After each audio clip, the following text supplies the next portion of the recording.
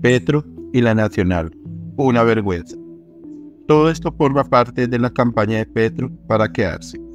Moviliza a sus electores y los activa como lo va a hacer con la primera línea. Columna de Francisco Santos para semana. La hipocresía del presidente Gustavo Petro no tiene límites.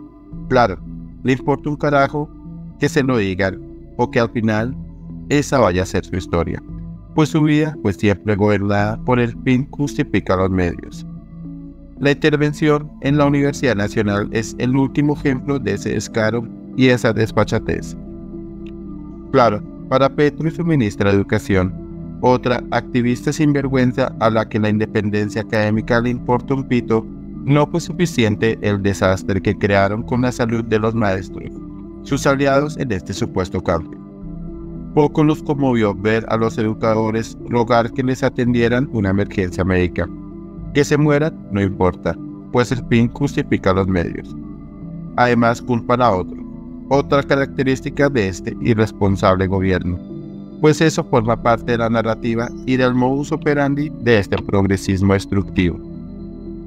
Ojalá los maestros les preguntaran a sus colegas en Venezuela cómo les fue con esos gobiernos tan admirados y elogiados por Petro y su ministra. Sus pensiones hoy no pasan de los 14 dólares mensuales, poco más de 50 mil pesos, y sus salarios no pasan de los 20 dólares mensuales. Muchos son mototaxistas, cocineros o empleadas y más del 40% dejaron la profesión. Hoy el 60% de los estudiantes de colegios venezolanos solo van a estudiar dos o tres días a la semana por falta de maestros, y el 31% de los jóvenes venezolanos desertó y abandonó el colegio definitivamente. Gran futuro le espera a ese país. Y ahora que Petro y su ministra van con la nacional, que los profesores y los alumnos les pregunten a sus colegas qué pasó en Venezuela con la educación universitaria pública. La expulsión de académicos es brutal. Más de 3.500 se fueron a universidades en el exterior o privadas en Venezuela. La investigación también murió.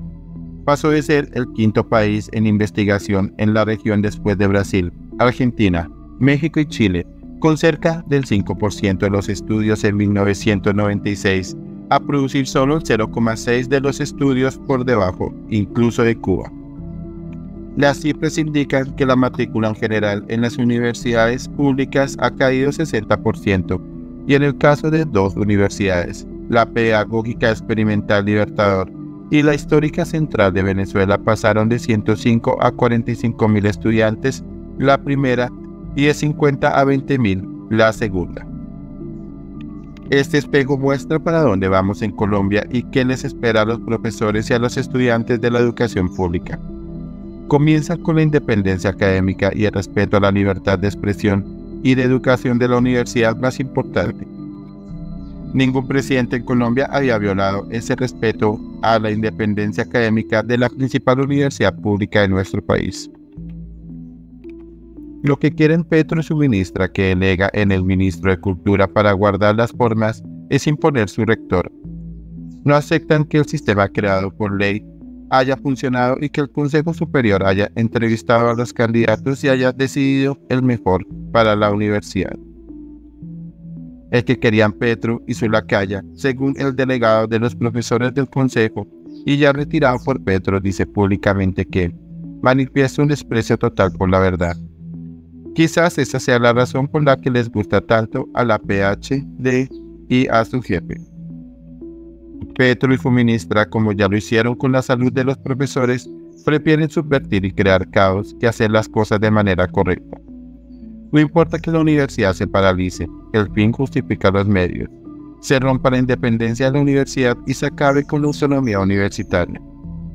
Tal y como lo hizo con el nombramiento de la fiscal cuando promovió esa sonada contra la corte, prefieren los hechos a la ley. Nadie puede decir alguna cosa contra el rector de esa misma universidad, Moisés Wasserman, quien afirmó que la intervención del gobierno pone fin a la autonomía universitaria. El cambio que tanto les prometieron a los jóvenes acaba con uno de los elementos críticos en el éxito de la labor de las universidades, y en esa hipocresía de los progresistas, su silencio e incluso su apoyo como el de ese referente Rodrigo Uprimi es evidente. Para ellos el fin también justifica los medios. Nada de esperar las demandas al nombramiento de rector y que la justicia decidiera, o cambiar la ley y los reglamentos de elección a través de los mecanismos legales y administrativos apropiados. No hay que imponer la voluntad de alzar Petro bajo el coro de apoyo e incluso las amenazas a profesores de ese pequeño sector violento que vive dentro de la universidad. Y el Congreso ya se debería estar proponiendo un debate por lo menos o una moción de censura contra la ministra. En una democracia esa autonomía debe defenderse y no acabarse el amparo de ese populista concepto de una primavera democrática que plantea Uprimi. Él debería ser el primero en hacer respetar la ley, pero como él acepta que el fin justifica los medios, conceptualiza eficazmente esa postura. Todo esto forma parte de la campaña de Petro para quedarse. Moviliza a los electores y los activa como lo va a hacer con la primera línea. Para eso nos quiere en la calle, no nos engañemos.